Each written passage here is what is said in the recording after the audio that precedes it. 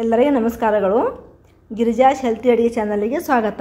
ಇವತ್ತು ನೋಡ್ರಿ ಮಾಡಕತ್ತಿದ್ವಿ ಜೋಳ ನುಚ್ಚು ಮಾಡಕತ್ತಿದ್ದು ನಾನು ಇವತ್ತು ಈಗ ನೋಡ್ರಿ ಮತ್ತು ಮಾಡ್ಕೊಳ್ಳೋದು ನುಚ್ಚು ಜೊತೆ ಸಾಂಬಾರು ಅಂದ್ರೆ ಮಜ್ಜಿಗೆ ತೊಗೊಂಬಿಟ್ಟು ಮಜ್ಜಿಗೆ ಸಾಂಬಾರು ಮಾಡ್ಕೊತೀನಿ.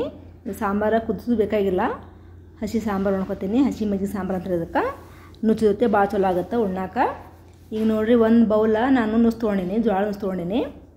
ಒಂದು ಬೌಲ್ ನುಚ್ಚಿಗೆ ಮೂರು ಬೌಲಷ್ಟು ನೀರು ಹಾಕೋತೀನಿ. ಅಂದ್ರೆ ಅದರ ಒಂದರಷ್ಟು ನುಸ್ ತೊಗೊಂಡ್ರೆ ಅದಕ್ಕೆ ಮೂರು ಪಟ್ಟು ನೀರು ಹಾಕೋಬೇಕು ನಾವು. ಅಂದಾಗ ನುಚ್ಚು ಬರಾಬರಿ ಆಗುತ್ತಾ?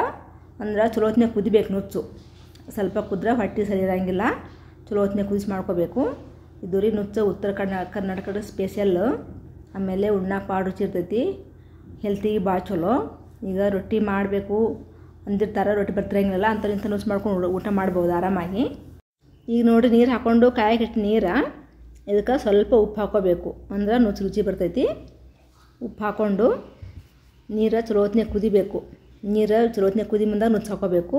ನೀರು ಬರೀ ಬಿಸಿ ಇರಬಾರ್ದು ಕುದಿಯೋಕೆ ಸ್ಟಾರ್ಟ್ ಆಗಬೇಕು ಅವು ನುಚ್ಚು ಹಾಕೋಬೇಕು. ಹಾಕ್ಕೊಂಡು ಹಂಗೆ ಬಿಡಬಾರ್ದು ತಿರುಕೋತ ಇರಬೇಕು, ನುಚ್ಚು ಹಾಕೋತ ಹಾಕೋತ.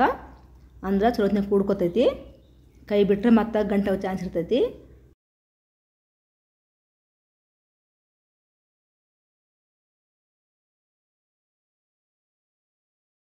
ಈ ಸದ್ ನೋಡ್ರಿ ಚಲೋ ಹೊತ್ನಾಗ ಕುದಿ ಮುಂದಾಗ ಮ್ಯಾಂಗ್ ಮುಚ್ಚಬೇಕು ಮುಚ್ಚಬೇಕಾದ್ರೆ ಪೂರ್ತಿ ಮುಚ್ಚಬಾರ್ದು ಅರ್ಧ ಮುಚ್ಚಬೇಕು ಪೂರ್ತಿ ಮುಚ್ಚಿದ್ರೆ ಮತ್ತೆ ಉಪ್ಪು ಚೆಲ್ಲಿ ಬಿಡ್ತೈತೆ ಅದು. ಮುಚ್ಚಲಿಕ್ಕಂದ್ರೆ ಪೂರ್ತಿ ಎಲ್ಲ ಕಡೆ ಹಿಡಿತದೆ ಅಂತ ಮುಚ್ತೇವೆ.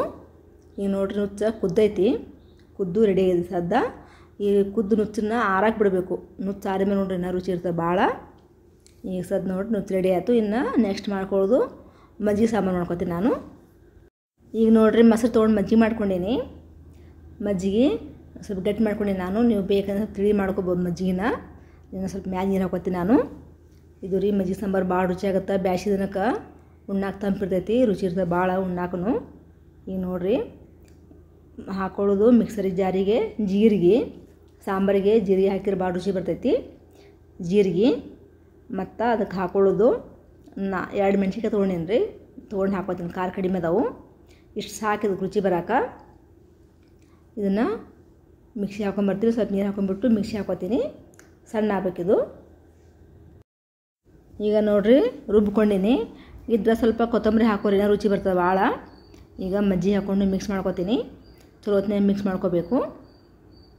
ಇದು ರೀ ಜೀರಿಗೆ, ಸ್ವಲ್ಪ ಹಸಿಮೆಣಸಿನ್ಕಾಯಿ. ಇದ್ರೆ ಕೊತ್ತಂಬರಿ ಹಾಕೋರಿ. ನನಗೆ ಇದ್ದಿದ್ದಿಲ್ಲ ಹಾಕ್ಕೊಂಡಿಲ್ಲ ನಾನು.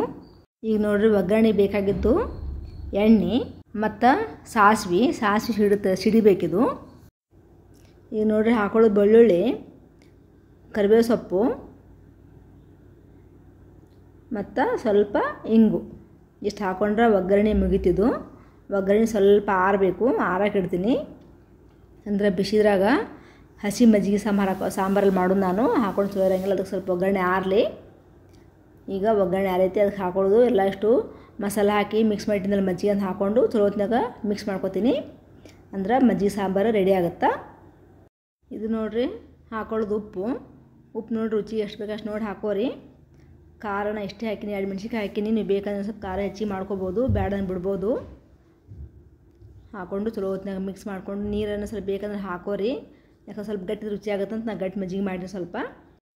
ಈಗ ನೋಡಿರಿ ಉತ್ತರ ಕರ್ನಾಟಕ ಸ್ಪೆಷಲ್ಲು ನುಚ್ಚ, ಸಾಂಬಾರ ರೆಡಿ ಐತಿ. ಈ ರೆಸಿಪಿ ಇಷ್ಟ ನನ್ನ ಚಾನಲ್ ಸಬ್ಸ್ಕ್ರೈಬ್ ಮಾಡಿರಿ ಶೇರ್ ಮಾಡಿರಿ ಲೈಕ್ ಮಾಡಿರಿ. Thank you